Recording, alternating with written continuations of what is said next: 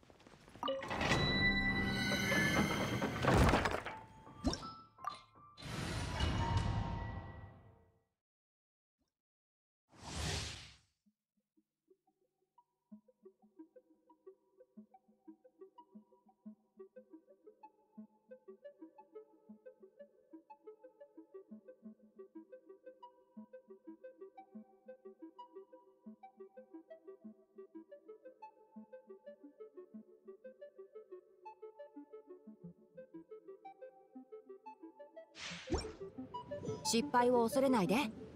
失敗を重ねることも学びの大事なプロセスだから。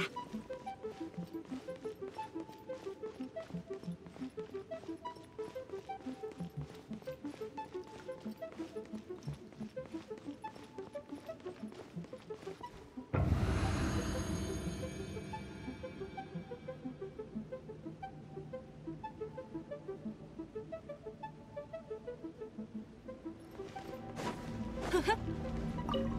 いやあ根こそぎにしてあげるやっ。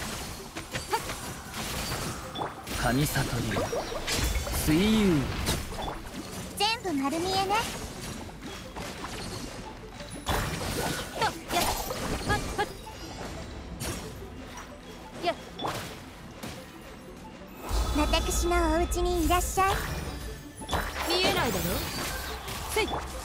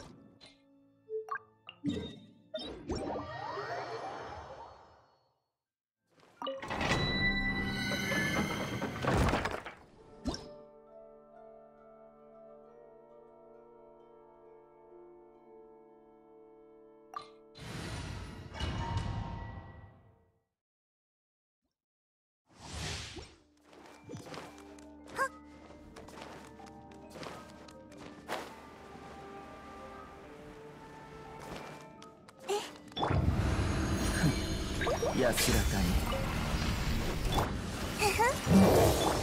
しっかり立ってな。音が聞こえる。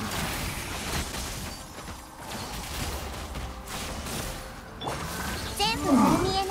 これこそが知恵の伝道牽引よ一応目を追え、うん、根こそぎにしてあげる。